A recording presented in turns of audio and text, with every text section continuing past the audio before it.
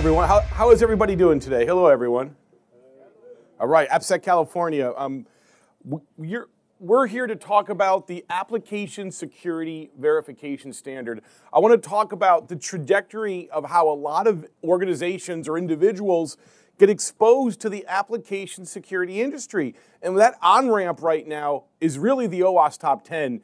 And I want to help us make the migration from the OWASP Top 10 as the entry point into application security and really try to bring people to the ASVS, the Application Security Verification Standard. This is something comprehensive. This is something that we can base an entire application security program off of. It's such a detailed standard. And so that, that's the goal of this talk. My name is Jim Manico. I'm going to be your speaker today. I'm a former board member of the OWASP Foundation. I'm a project manager for like a half dozen OWASP projects. One of my favorites is the Cheat Sheet series. It's like a living encyclopedia of a bunch of secure coding knowledge that about 100 different people work on. So that, that's a great project to learn about secure coding. I've been developing software most of my adult life, wrote a book on the topic, and I'm a resident of Hawaii and Virginia. Long story for another time. You can also reach me at Jim single quote or single quote one single quote not equal single quote at manico.com. No, no, you shouldn't do that. No, you shouldn't do that. Don't email me there. By the way, do you think this is a real email address? Do you think this is a legitimate like if your if your security was going to be input validation and you have an email validator just check is valid email address. You think this is a valid email address? What? I got a yes from from a, a very astute professional combatant up front. So anybody else want to chime in? Any knows? This is not, not only is this a valid email address, it's absolutely RFC compliant. It's active. It's actually one of my email addresses. So if you're like, I don't believe, go ahead, send me an email. Your mileage may vary. If you're injected, this is a SQL injection attack payload. So if it attacks your client, I warn you, this is proceed with caution. But this is active, and I'll, I'll respond to your doubting email with one word. I'll say, believe. It's real. It's real, baby. So, like, you know, it's just neat. A lot of us talk about de- how to defend applications. The, the point I'm trying to make when I show this is even valid data that's gone through your validation layers can still cause injection and do harm in other ways to a piece of software. So, anyways, I digress. Let's get, that's just a little a little tidbit to get us warmed up. Let's get the let's get this talk started. You're a little late to my talk, but that's all right. No, it was 2:03. I'm sorry. I'm, forgive me for starting a little on time. So, this is the this is the OWASP top 10, and I think this is important because it is a large number of people's on ramp and introduction into application security, in particular web security. Can anybody tell me why this has become the on ramp to application security? What vehicle, what driver pushes people to look at this? As their first entry into application security. Why? Something, I agree, but something specific pushes people to that checklist. I, that, that might be true, but something specific, something that's not a law, but it's, a, it's in the world of governance. PCI, PCI, baby, where anyone processing a credit card is governed by PCI, uh, the, the Payment Card Industry Data Security Standard. And this is not a law, but it will force additional financial fines on your company to process credit cards if you don't follow it. And they have for years cited the OWASP top 10. And that leads us here. And frankly, one of my main jobs is to write PowerPoints and talk. It's a great job. If you can do it, do it. So I, I talk for a living. So for me as a speaker and as an educator, I love the OWASP top 10. It is a great vehicle to spread awareness it's a great excuse to talk about 10 completely haphazard and random topics in application security. This is supposedly a risk list. These are not all risks. Some of these are weaknesses, some are vulnerabilities, some are very narrow and specific, like XXE. Some of these are like giant, broad categories that we could spend months talking about, like authentication and identity in general. This is probably the most haphazard, slapped together list I've ever seen. But, it's, but it, that's okay. It wasn't made to be some kind of comprehensive document. It was made for like a keynote or made for an awareness training or meant as a first thing to read as an on ramp.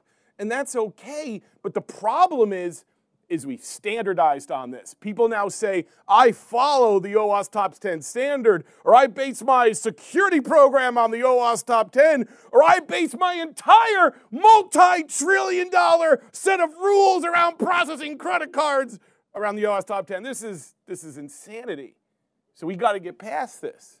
Now, I still love talking about it. So, like when this came out of just a couple years ago, these three topics were new. And I think it's really valuable. So I don't want to say that the OWASP Top 10 doesn't add value because XXE, if you're a, a red teamer or a real world attacker, XXE is a problem. Greg, there's been a plethora of incidents with XXE over the last couple of years. Plethora. What's, we were debating earlier, what's a plethora?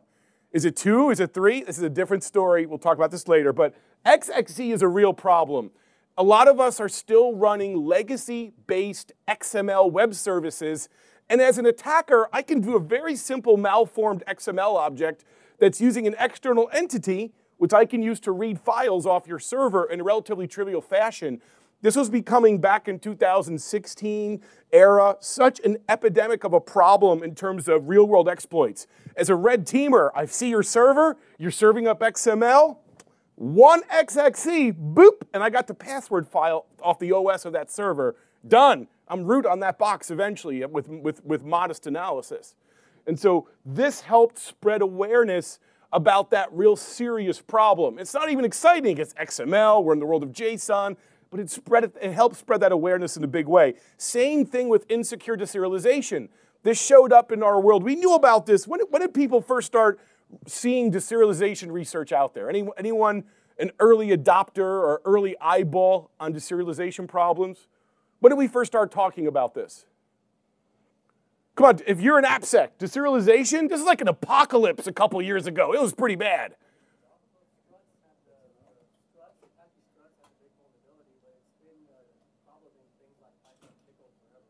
For like for years, like two, we're talking 2012, the original chatter about this problem shows up. Deserialization. This is when I send an untrusted, typically a stream of binary, XML or JSON, up to an endpoint that serializes that data in some way. And, uh, and uh, uh, this is just not a safe thing to do from untrusted data. Almost every language suffers from this. And this was becoming a really widespread problem. And why this was so bad in this era is because a lot of vendors were pushing out fixes, especially in the Java ecosystem, around how to fix this problem. And it was, it was half and half in terms of noble versus marketing, right? It was noble.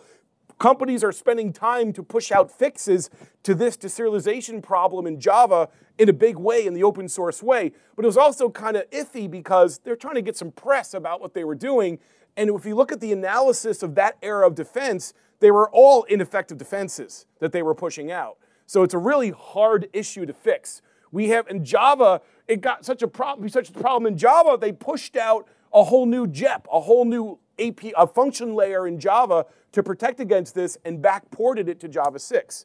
So the OWASP Top 10 helped breed awareness about these really critical issues back in 2017. This is a bit stale of an issue in 2019 and 2020. So, I mean, this is good. I like it, but we got to get beyond it. And, and how about A10, insufficient logging and monitoring?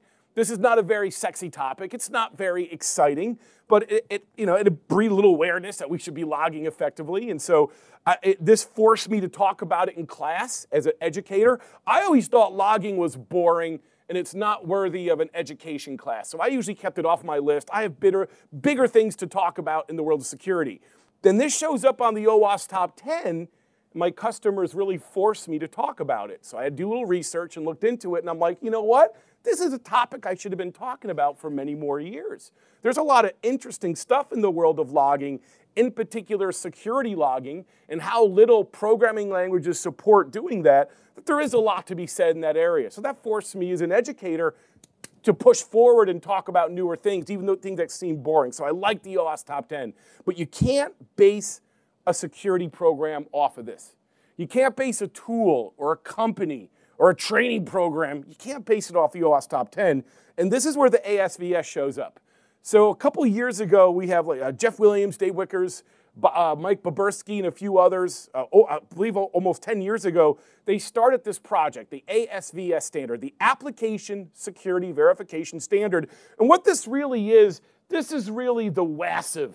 This is really the web application verification standard because we now have all these forks off of, off of this idea of a clear checklist for secure coding on the web. We have the massive, the mobile application security project. We have the growth of an IoT version of this standard, which we footnote, which, which we have an appendix for. It's not in the key standard, but we have some mentions of it. So this is really the web application security verification standard. And even though it started as a checklist, it, it, it grew into a real clear, hopefully well vetted open community standard that you can use to literally base an entire application security program off of. The reason why I like this so much is because the question I ask a lot to teams are, what do you define security to be? Real simple question. What do you define security to be in the context of software? And what kind of answers do I get? I get a lot of philosophical answers. We want the application to only behave as intended, or we don't want it to be attacked. This is philosophy, but we're scientists. I can't write secure code with the philosophy. I, got, I need a real mission. And this is why ASVS is important. It's essentially about a 280 plus requirement document meant to define clearly what a secure piece of software is. Now, that's the answer to my, that question in my mind. What's a secure piece of software? Well, it's a piece of software that's been tested, built, designed, etc., all with these 280 plus requirements in mind. Training, any activity that we want to do in the world of application security, we can, we can build that around this clear list of requirements, no matter what you're doing. So, and the other key thing is the goal of this standard is not just to copy our vision. Like when we built the standard, Andrew Vanderstock, Daniel Cuthbert, um, Josh Grossman are really the, the leaders who pushed, did, did the main work in this. Josh Grossman, in this version, one of our biggest volunteers in terms of time spent working on this, with tons and tons of, of requests over GitHubs and comments and debates around what we should put in here. And every single one of those debates is done in public. There's none of this was done behind closed doors. There's no cabal of secret in, intellectual people making these decisions to support their products or any of that BS. This is done in the clear, in GitHub, in public, encouraging these discussions to make sure we get it right. So and the, and the thing, the key thing is we do agree that, that this is the best that we can come up with around this era, but we think that you and your teams should fork this. We think you should grab a copy of these 280 plus requirements and go through a vetting process in your company and, and change it up specific to what you're doing. Like one of my customers took the, like the many dozen authentication requirements. And as a side note, I'm gonna come back to this. As a side note, we did a lot of work on authentication. There's a new publication from NIST that came out a few years ago, which really changed the world of digital identity. You familiar with this document? Beautiful, right? This is NIST 863 A, B, and C. Um, and, and it's in particular, I highly recommend if you're an AppSec professional working in the world of identity, go read NIST 863B in particular. And it, it did things like change the world of password policy like no other modern document ever has. They refer to credential stuffing, common password list. They really force multi factor for even the, the most minor sensitive data. They're recommending um, 64 character passwords or longer being supported. Now, NIST actually said that eight character passwords were okay, and the ASVS team pushed that up to 12. We were a little gun shy to agree with NIST on that call for eight, pass, eight character passwords. But the point of the author of, of the NIST document was if you're doing all of these newer defenses, multi factor, um, looking for contextual word matches in passwords, uh, the, uh, uh, uh, supporting very large length, supporting Unicode characters, blocking brute force attacks in some way, and really addressing how authentication layers are attacked in the modern world, and especially with multi-factor in play, then long passwords are no longer important. I think I, I don't I don't agree. I, I'm going to go for 12 as my policy, but it's a compelling argument that that that speaks to the point that how we've addressed passwords for the last decade or two uppercase, lowercase, number, special character, it's not an effective policy. It never was. And so I think it's, it's, it's great to read this NIST document. We one of the biggest changes to ASVS, the standard in version 4.0, was to grab these requirements and integrate them into ASVS in some way. And uh, again, I think it's a real valuable way to base an entire security program um, off of this standard. It's a, a, great document to do that kind of activity. And the people that worked on this is, is quite a large list. Again, um, Andrew Vanderstock, Daniel Cuthbert are the two original modern leads of this project. Josh Grossman jumped into version 4.0 and put in an epic effort. I did a lot of the 3.0 version was my big effort. So every version, usually a new leader shows up and helps really put a lot of energy in to drive review of these requirements. It's a bit of a grind of a project. There's a, a plethora of comments that come in and need to be triaged and commented on. And sometimes one small comment will trigger a large debate or a large rewrite. One of the biggest efforts in this version was also getting rid of duplication of ideas across requirements, which is highly debatable and triggered a lot of, lot of late night discussions. The other thing that's new is we, we moved the whole standard to Markdown, which lets us push the document out in many different, different styles very easily.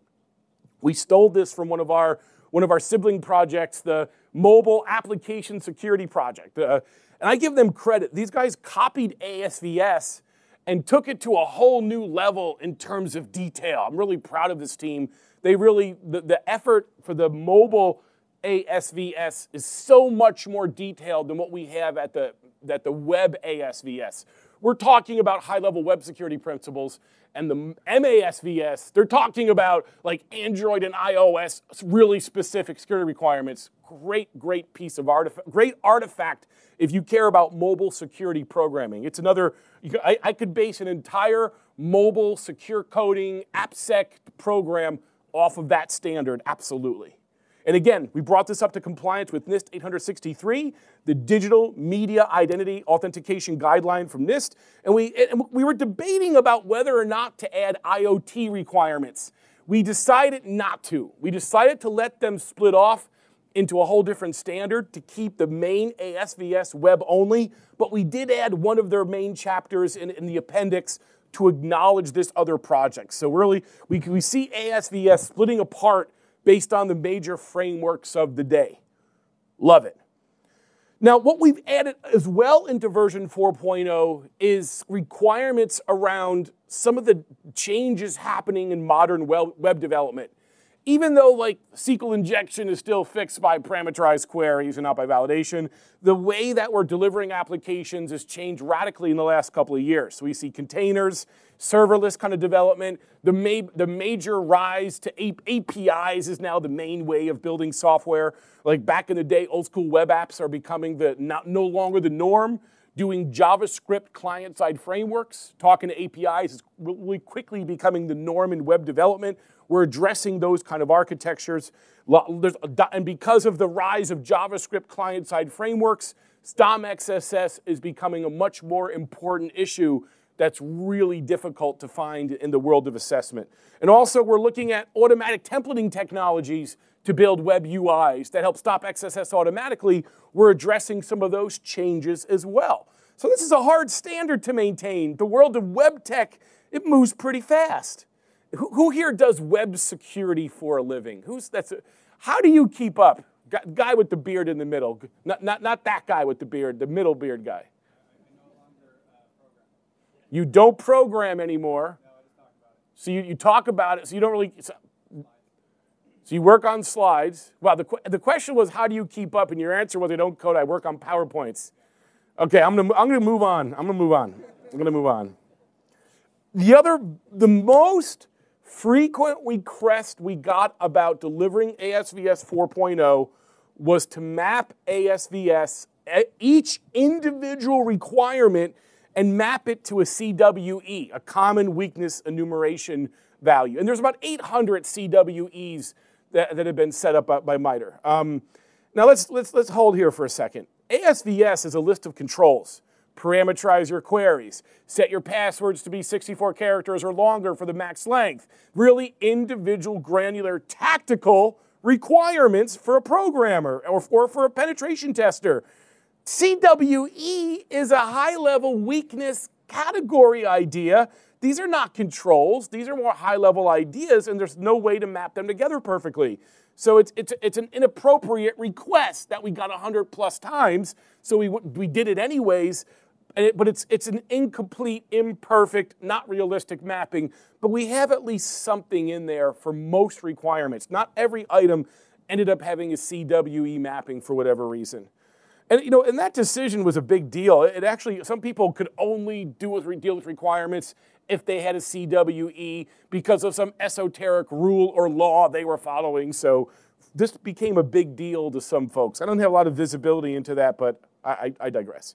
So also, what's changed about the individual requirements? Again, people have based programs off this list, have based their company or their product off of earlier versions of ASVS. So as we move to version 4.0 and make these changes, for some of you this may seem esoteric, but for those of you who've been using ASVS for several versions and these requirement numbers matter, as we suddenly renumber the whole standard, that messed with people's world quite a bit. So that's why we did a whole new version of the standard.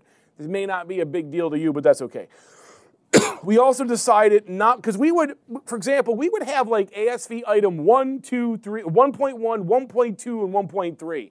We would get rid of 1.2 and in the next version, leave that number skipped then the, vert, and the standard would eventually become, all right, 1.1, 1.3, 1.8, and it wasn't linear, it was getting messy to keep up with that backward compatibility. So for 4.0, we gave up on that and just renumbered everything starting from scratch.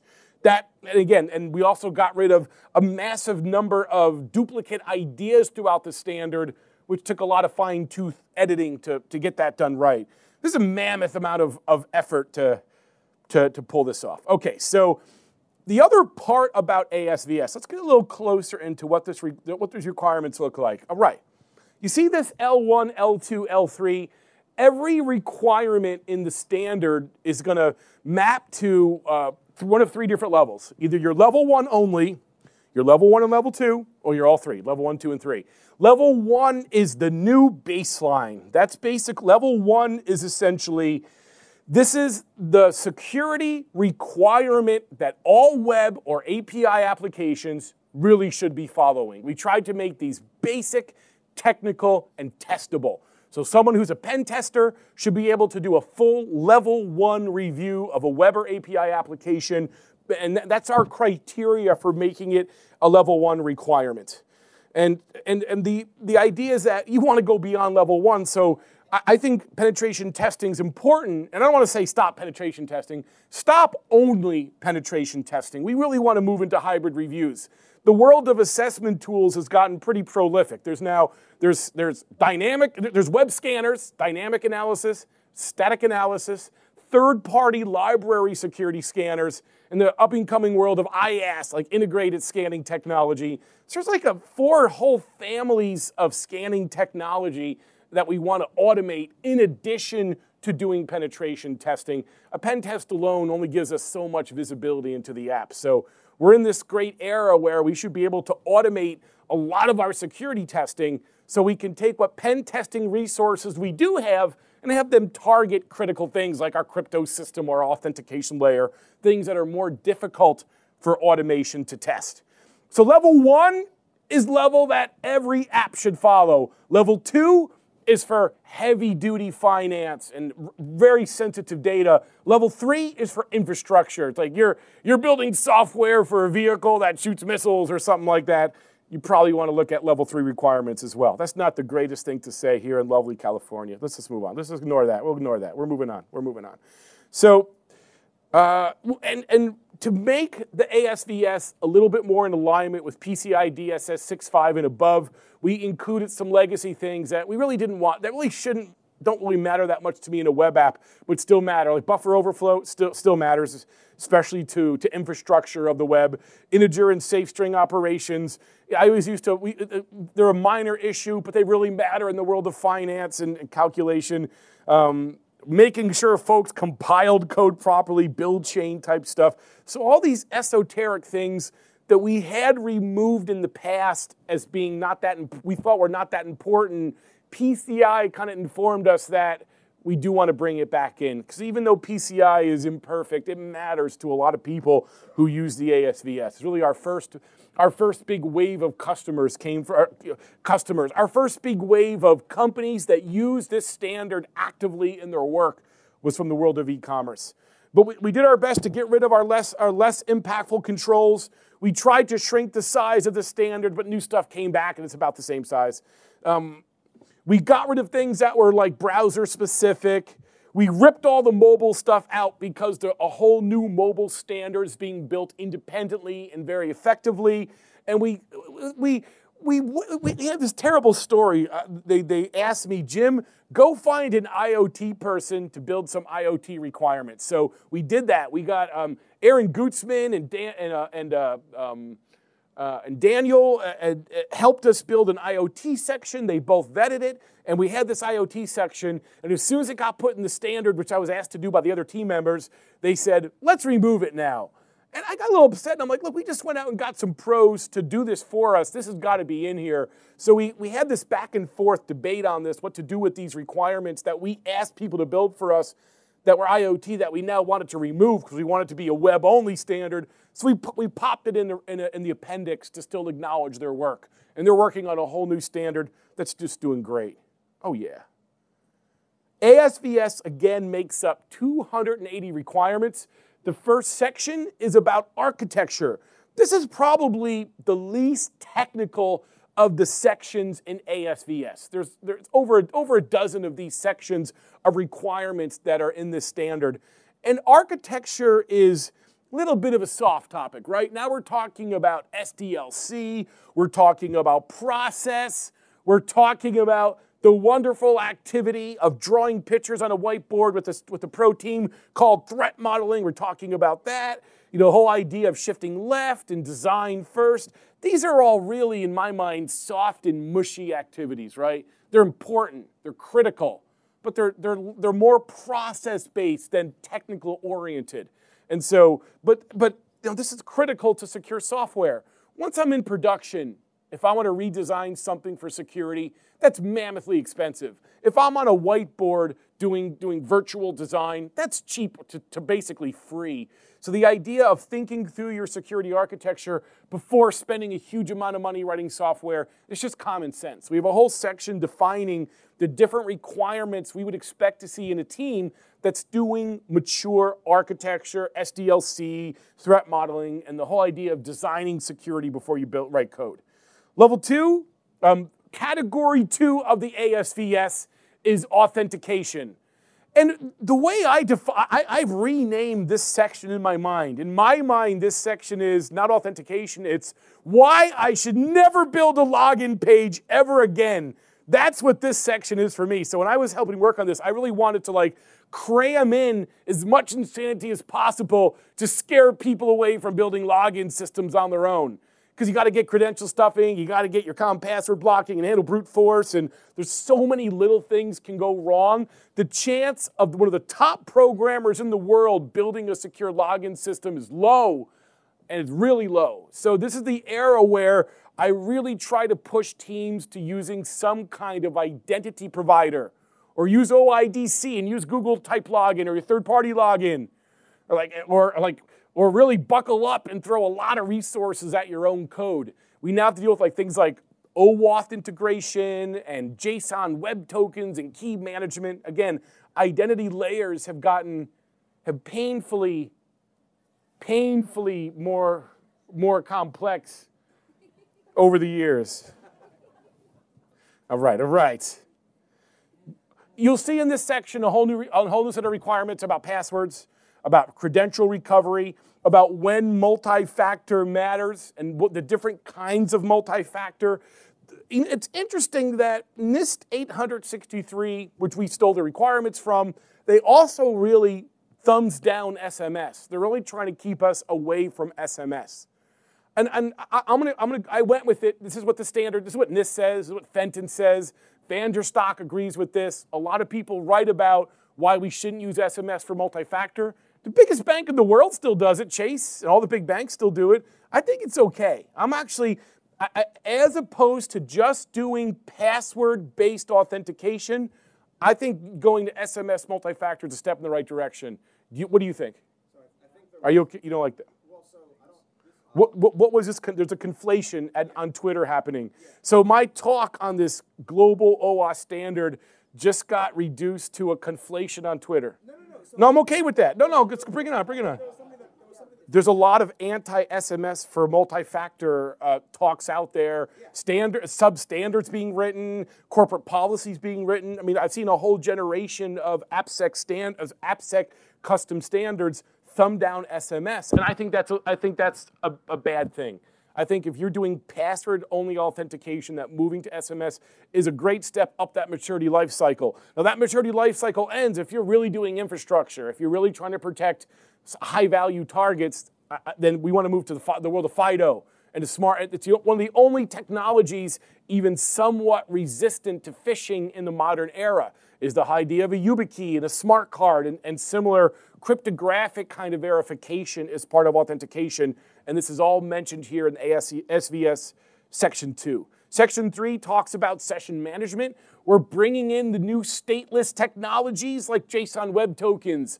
You know, JSON Web Tokens have taken over the world of session management and the world of APIs as APIs go from monoliths to bro broken down microservices, traditional sessions break down. The JSON Web Token and the digital signature to protect its identity has taken over the world of session management. I've heard some thought leaders in the world of identity, uh, in the world of identity say that all of identity is being reduced to signature verification, and it's, it's the JSON Web Token and that kind of artifact why we're hearing this kind of discussion.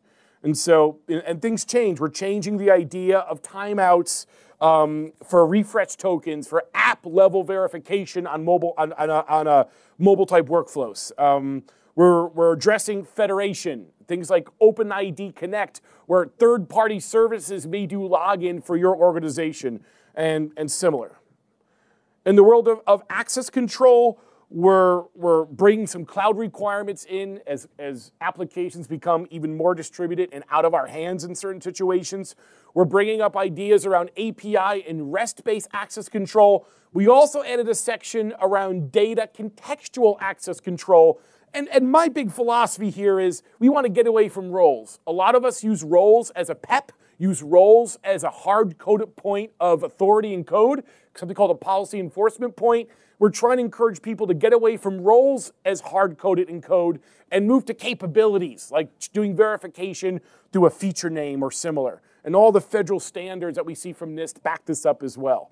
Section 5 in ASVS is around the core principles of input validation, data sanitization, and output encoding or output escaping. And I think this is really fascinating because XSS defense, the whole idea, and a big piece of this section is about injection protection, request forgery, and a big section of this is about cross-site scripting. Cross-site scripting fascinates me to this day, 2020. And I expect that the standards like content security policy and similar would make cross-site scripting go away. Anybody do AppSec assessment on the web as part of their job? Anybody hack? Do you, do you still see cross-site scripting? How often do you see it in assessment? Is it still the most common type of vulnerability that you're finding in your work, everybody? What's that? Sort of. You know, it, it requires three tiers of defense. If the user is submitting a URL that you're going to render in an anchor tag href attribute, you got to validate to make sure that's not that that's only a legal URL to avoid things like JavaScript URLs and data URLs.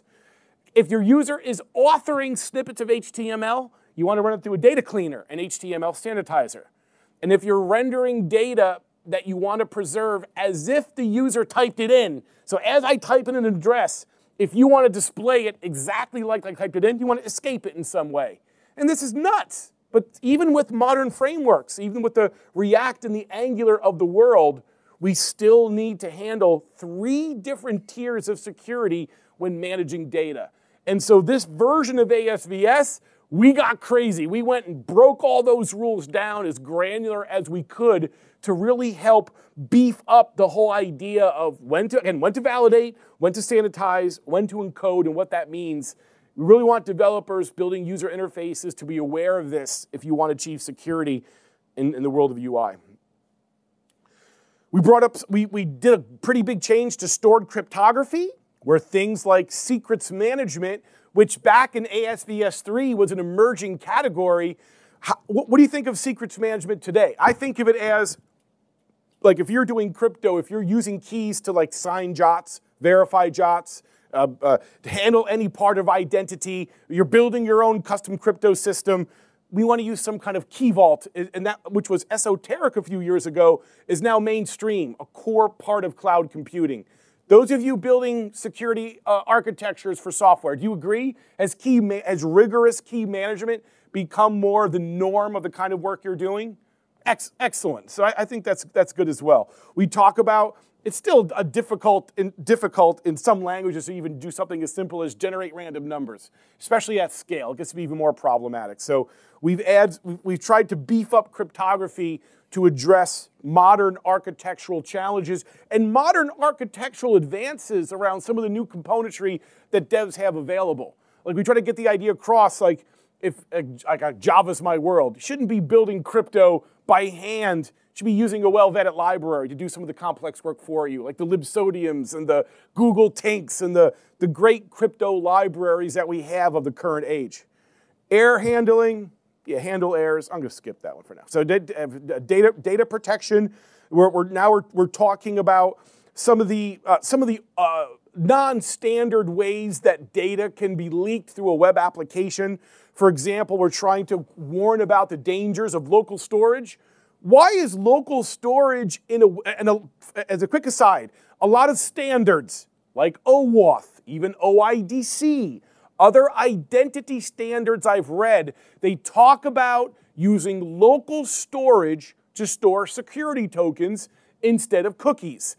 If, you, if I put my token in a cookie, what attack category am I at risk to? Like if I'm using a traditional session and a session ID or a JWT inside of an HTTP cookie, what kind of vulnerability on the web am, am, am I exposed to? Cross-site request forgery. Whoever said that, you're right. So a lot of folks are worried about that. So they want you to move data out of the cookie, which by the way is HTTP only and protected from theft in JavaScript.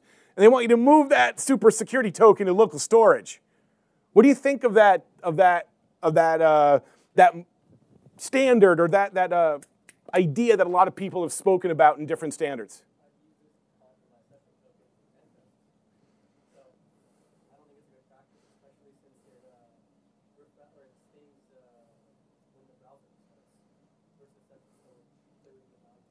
Do you ever see Rick and Morty before by any chance? See, he was playing some game, Gary, right? And he's like, Gary's going, Gary ripped up his social security card. He's going, he's going off the, he's, I'm doing that right now. I'm, I'm, I'm, going, I'm doing, I'm Garying you right now. Yeah, this is why, this is why I don't think you should be putting sensitive data in local storage. There's XSS. Here's my local storage harvester. Yeah, little script, walk through local storage make a GET request, send your entire local storage one key at a time up to my server, and I even URL encoded it for uh, standards compliance. Yeah, there we go. So yes, it's one XSS, and it's game over, game over local storage, and it's it's really a. I don't think it's bad. It's just a trade-off. If you're going to shove security tokens into local storage, then you're vulnerable to theft via XSS but you're usually immune to cross-site request forgery. If you're going to put your token in a cookie, you're suddenly vulnerable to cross-site request forgery. You have to manage that, but the token can't be stolen via cross-site scripting. It can be abused and used in a forged scenario through cross-site scripting, but it can't be stolen anymore. And you know th that's the trade-off you, you may want to consider. We talk about that in the standard. V9, communication security. How often Bryant, how often should we be using HTTPS, dude? How often? Yes. Is there ever a good excuse to use HTTP? No. No. So that's that, that, and I think we find we've been talking like that. I have been at least for a long time. I think we're hitting a point now where I actually see some corporations where they have zero cipher, zero plain text traffic in their API architect, in their API delivery part of their architecture. I see companies that I wouldn't traditionally think of caring about security refuse to ever deploy even open port 80 within their organization. So, and if you look at the uptick of TLS usage across the internet, it's I don't have the statistics with me, but it's it's out of control. It's, it's up 80% of the whole web is HTTPS right now. Not, tra- not web traffic, but number of sites that support HTTPS. Since ASVS 3.0, what have we seen? We've seen Let's Encrypt show up. We've seen strict transport security preloading become de rigueur and become much more common. All these advances and, and the, the ability to get certificates for free from Let's Encrypt really threw gas on the fire and like blew up the number of people that are implementing HTTPS. So I, I look forward to the day when we have a web that is only served over HTTPS, and I see that future right before us. It's happening. Um, the, the growth we've seen over the last 10 years is no, no doubt exponential in terms of how good we're doing at communication security. malicious code. I'm, going to skip this one as well. Uh, uh, privacy invading libraries are coming up for the first time.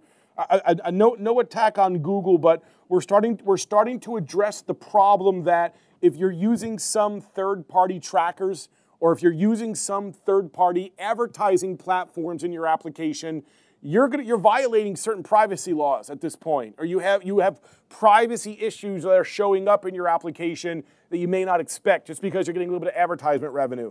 And we're trying to address some of these thir- these third party privacy and malware type issues on the web for the first time. 11 business logic verification. This is this is where DevOps falls apart. This is a really important uh, section in my world. Many of my customers, uh, uh, uh, they no longer want to spend money on pen testers because they're expensive. I think pen testing is very important, don't get me wrong, but they, they want to they wanna move away from pen testing so that a lot of people have invested heavily, a lot of organizations have invested heavily in this whole DevOps movement. And I, I, honestly reduce all of DevOps. I know you get mad at me, but I reduce all of DevOps to automating security testing. I know you don't like that. Oh no, Jim, you're missing the philosophy of DevOps. Yes, I am. Let's move on. So anyway, so we're doing a lot of automated security testing now. In fact, big companies have invested millions in this with great success. One of my customers was an early adopter of this. They, they got attacked badly because of their shopping cart. Now, their shopping cart what are the steps of a shopping cart? Who's with me? I add stuff to my shopping cart. I check out.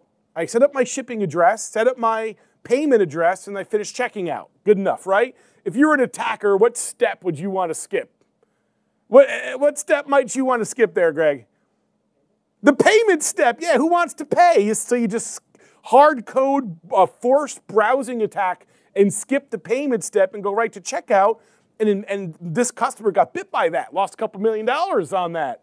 Now they're throwing a dozen scanners at their web app, and guess what? Every single web scanner on the planet missed this very simple step skipping attack against an e commerce application. Why? Because it's a business logic issue. It's even though it's e commerce, it's a multi step transaction. It's, a, it's, a, it's business logic. And again, our $100,000 scanners are not going to ever find problems like this.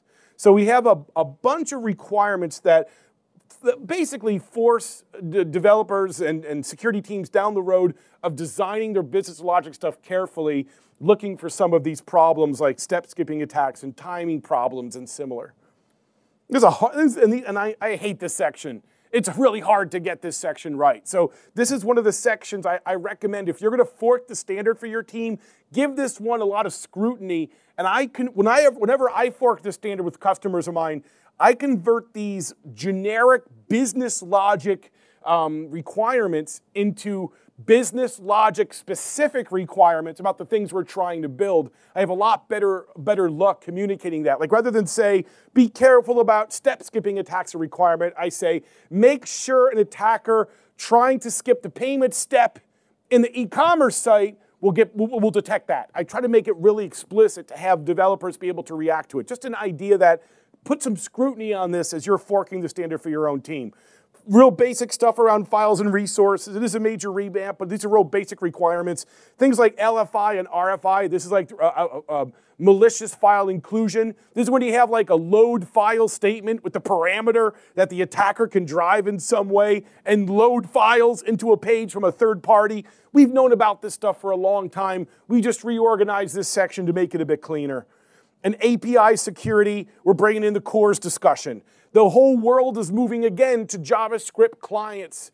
And these JavaScript clients are frequently using APIs from a multitude of different origins. Why is that a problem for JavaScript developers that their clients are now making API requests to multiple origins? What's the problem?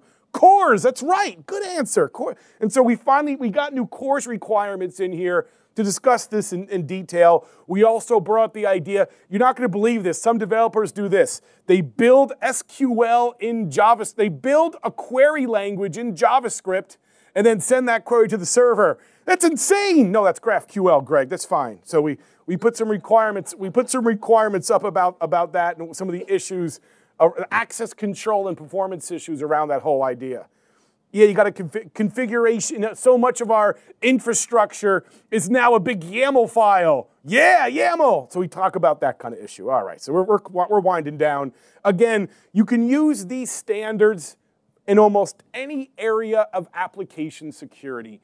Hopefully, this becomes a common language that all of your teams or team or individual can speak when talking about these software security issues, especially when you're doing cross department discussions, especially when your pen testers who speak the security language and your developers who speak developers language, when those two teams try to discuss security problems that have been discovered, that's like two alien races with different languages talking to each other. But if both teams are using the ASVS requirements to drive their work, we now have a, a mapping layer between our worlds to communicate how we get this done and really release and manage secure software.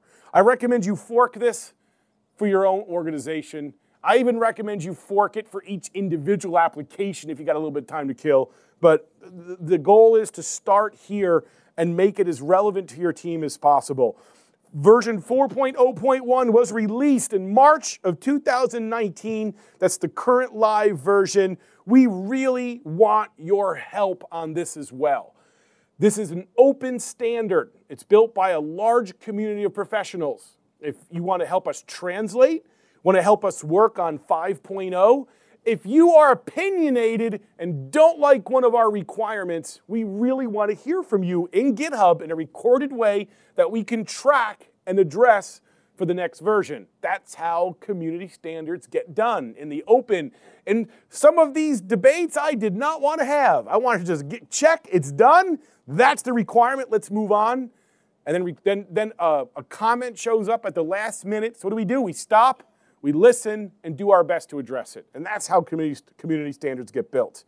If you have questions for me about ASVS, OWASP, AppSec, or anything else, I'm Jim, single quote, or, no, no, no, I'm sorry. I'm Jim at manicode.com, jim at owasp.org. It's a, I have a minute and 20 seconds before I wrap up. Any questions? Yes, sir, Brian. Can we do the error handling slide? The air, oh, okay. Dude, you're the man. No, no, you're the man. I'm, I'm, I'm down on error handling, but it's, it's important.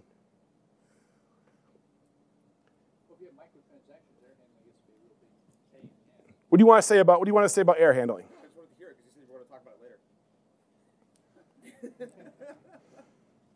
in error handling, I, in uh, my world, what shows up the most is REST. So we encourage REST-based error handling codes that are standard across your team. But be careful.